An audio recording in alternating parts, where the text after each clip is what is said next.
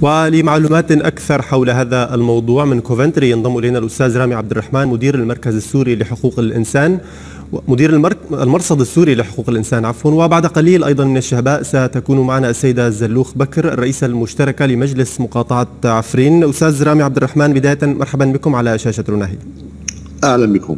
أهلا بك. ما الجديد بخصوص عمليات التغيير الديموغرافي في الشمال السوري المحتل وخاصة مدينة عفرين أستاذ رامي؟ نعم طبعا آه، نحن في إطار إصدار تقرير مفصل عن قضية التغيير الديموغرافي يوم غد آه، آه، لتذكير المجتمع الدولي بأن عملية تغيير ديموغرافي تجري في عفرين برعاية منظمات ممولة من دول غربية وعربية تحت إطار المساعدات الإنسانية لإسكان المهجرين السوريين من مناطق جغرافية مختلفة كريف دمشق كجنوب سوريا كحمص في إسكانهم بمناطق بأراضي جرى استيلاء عليها من قبل هذه المجموعات التابعة للائتلاف السوري المعارض للحكومة المؤقتة.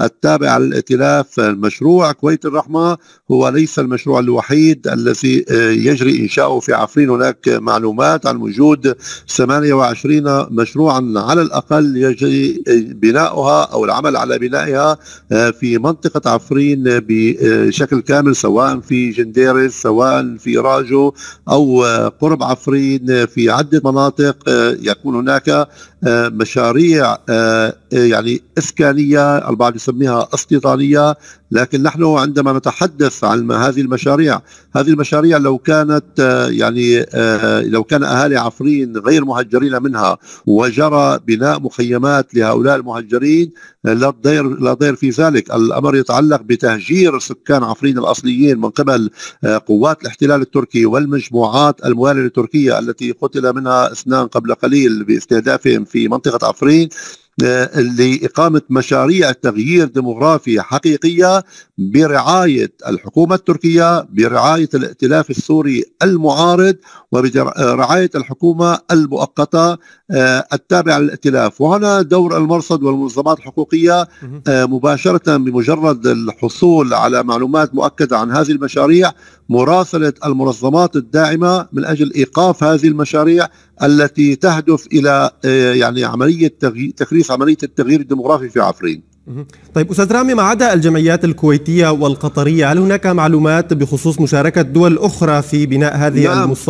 المستوطنات أم محاولات تركية أم ما يسمى الائتلاف لاستقطاب دعم أوروبي ربما لبناء هذه المستوطنات؟ بشكل قطعي بشكل قطعي. ولكن نحن بالنسبة للدول الأوروبية نحن نترصد هذا الأمر على الرغم من المحاربة التي نتعرض لها من قبل منظمات حقوقية سورية تدعي بأنها تعمل من أجل الشعب السوري بينما هي تعمل آه، لجناح من الشعب السوري السوري آه، تقوم بمحاولة آه، إيصال معلومات للدول الأوروبية بأن هذه مشاريع لمساعدة اللاجئين. بينما الواقع هذه هذه مشاريع لتوطين اللاجئين في عفرين وأحداث عملية تغيير ديموغرافي. نحن في أوروبا والدول الغربية نتابع هذا الأمر لكن أيضا في قضية بعض الدول العربية نقوم بتسليط الضوء الإعلامي آه، على هذا الأمر كي لا تستمر هذه المنظمات بما تقوم به سواء في عفرين سواء في مناطق جغرافية مختلفة من الأراضي السورية التي يسميها السيد نصر الحريري بأنها مناطق محررة وشاهدنا كيف يكون التحرير بالقتل والإقتتال ضمن هذه الفصائل.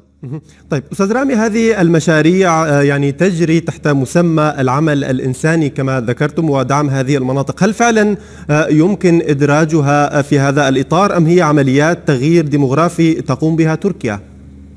على الإطلاق آه، لن تندرج بإطار عملية العمليات الإنسانية كون بأننا نحن نحن نعلم قبل احتلال عفرين ماذا قال رجب طيب أردوغان.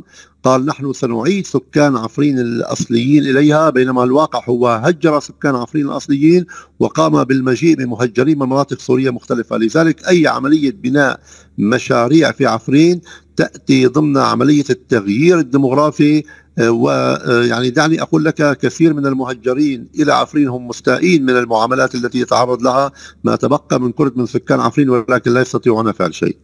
طيب أستاذ رامي هذه الأوضاع هل تتطلب إدراج هذه المناطق تحت وصاية أو مراقبة دولية لحمايتها من التغيير الديموغرافي والعمليات التي تجري فيها؟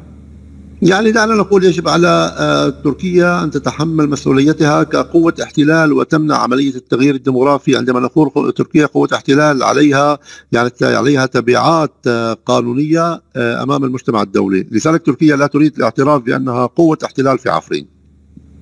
شكرا جزيلا الأستاذ رامي عبد الرحمن مدير المرصد السوري لحقوق الإنسان كنت معنا من كوفنتري.